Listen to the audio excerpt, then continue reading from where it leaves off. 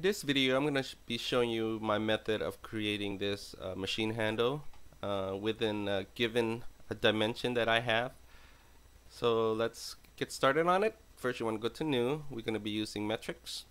to create, sketch, xz, uh, diameter, circle, select the center point there and 64 a millimeter is what we want. Select the circle uh, center point again, and that we want 37. Hit OK. I'm going to try to speed it up and try to fit everything that I'm doing here onto 15 minutes of YouTube time. So I'll do what I can. So first you select extrude. We want to change it to isometric. Select that. We want 47 and we want 35 millimeter for the bottom piece. And just say okay on that. Now select the top side. Sketch. Circle. Select the center point. We want 45 for this as it's given on the uh, drawing. Hit OK finish. Go to extrude. I like that. Go to cut. We want 14 depth on this. Select there. Now we want to do the same thing to the bottom. So highlight the bottom um, go into sketch. Hover over it till you see that that white line there. Select it. Select project geometry. And you're pretty much all done on that. Go into extrude. Highlight that piece there. Uh, then you want to go to cut and it's already given 14 so say OK now we want to go into um, top side here. Select it again and select the plane offset from plane we want negative 7 for this because we want to bring it down. There you go. Highlight that. Select sketch. And normally I would go into slice uh, graphic here. Click on it. It'll just cut to it where that plane is so you can work on it. That's how it is. Helps a little bit. Um, go into project geometry. Select that. Select the circle. Just draw somewhere over here a circle of 22 there. Select that select the center point both of them and the, that we want 67 from doing the same thing but now we want this side here to be zero. So now it's constrained on there. Select the line. Um, just draw a line um, distant don't matter. We're going to be trimming them off. Just like that. Select tangent. Tangent there and here just like this here and we're gonna select trim. And say it OK actually I miss one piece that steps here that it's not necessarily but I like to clean it up a little bit. Go into there.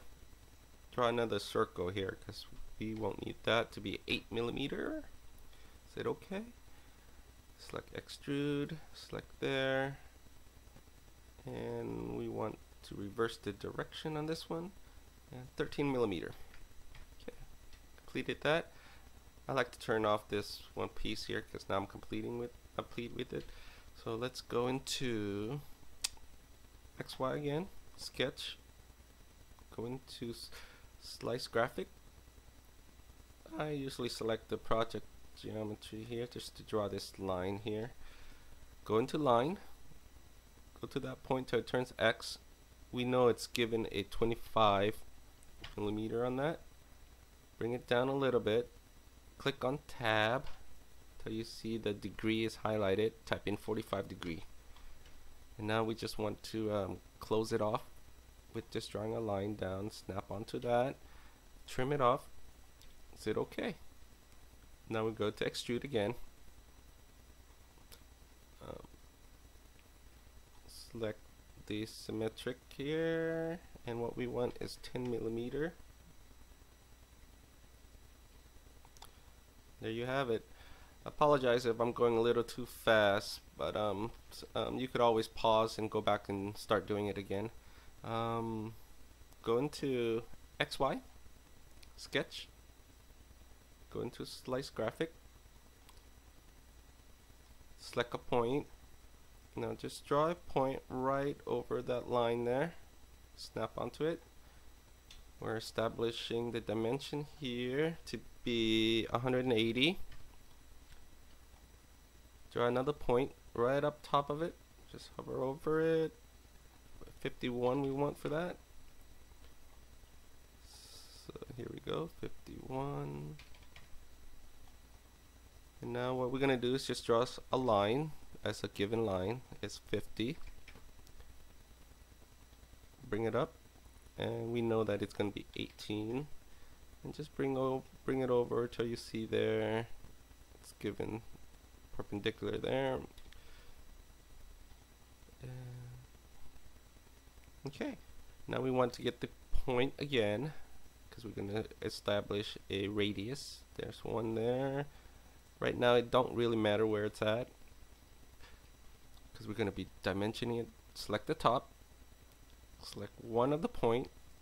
This one we want 116 and the next one from the bottom line there. And to the point we want 100 go into arc which is center arc here like that. Select the 116 point and the top just draw an arc on it don't matter how far now go into the 100 millimeter here. Select that point. Select the bottom piece. Just draw an arc. Now what we want to do is establish the line through here. So just draw a line from that point to there. And then from there to there. Give it a dimension of 18 as given. And close it up with a line drawn here. Now what we're going to do is draw a circle. Of a given circle is 200. Let's start with that. What we're going to do is tangent that piece to the top here, just like that. Do it again with the line that is on top, so here and here. Now we're going to draw another circle, which is going to be 100 16 times 2, 232. Okay, we're going to make sure you got the right one.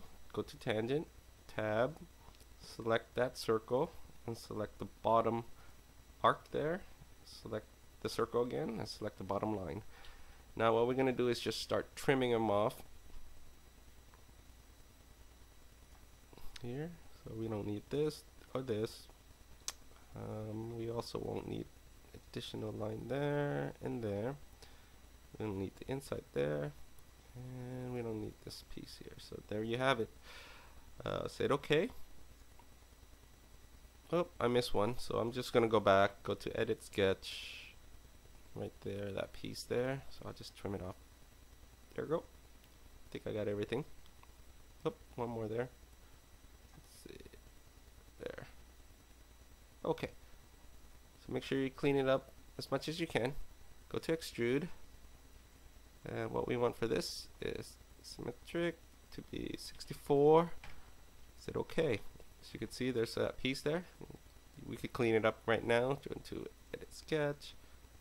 Go into extrude. Extrude cut. Go to through all just to make sure because we don't need it. And there you have that one. Now you want to select the top side of this piece here. This one is a little tricky of what I've done. Um, okay, so what you want to do is go here, select the construction line, select that, bring it over till it snap right onto it because we know that the given dimension is 25 millimeter from here to here and we're going to center that. So turn off your construction line.